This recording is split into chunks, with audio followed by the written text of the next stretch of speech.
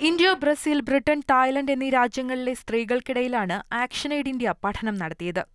International women and child right N GO ആയ action എയ്ഡിന്റെ പഠനത്തിൽ ബ്രസീലിൽ പതിനാറ് ശതമാനവും ബ്രിട്ടനിൽ പന്ത്രണ്ട് ശതമാനവും തായ്ലൻഡിൽ എട്ട് ശതമാനവും സ്ത്രീകൾ പത്തൊൻപത് വയസ്സിനുള്ളിൽ ലൈംഗികാതിക്രമങ്ങൾക്ക് വിധേയരാകുന്നു എന്ന് കണ്ടെത്തി. എന്നാൽ ഇന്ത്യയുടെ കാര്യത്തിൽ കണക്ക് ഞെട്ടിക്കുന്നതാണ്.